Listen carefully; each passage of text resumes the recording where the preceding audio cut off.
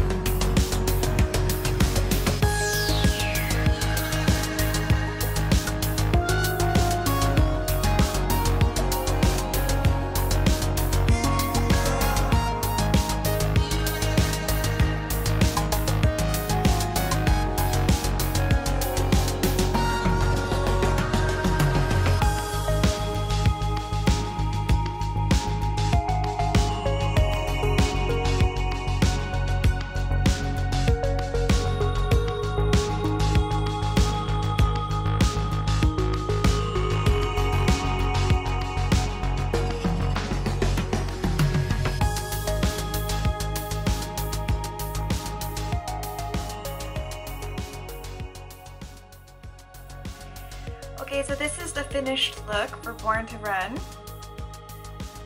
I'm overall so impressed by how good this palette is. I'm, I'm never really disappointed by Urban Decay, but this one is so good.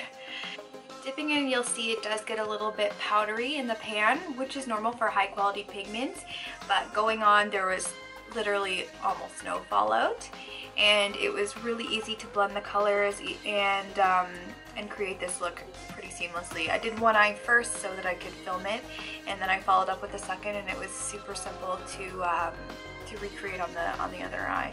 Just gorgeous. This color story is amazing. Probably my favorite palette since um, honestly maybe ever like such a range here and each of them are, are true uh, showstoppers. Like each of them, or most of them anyway, are, are really impressive in their own right, not just as a story. And then as a story, they work together beautifully.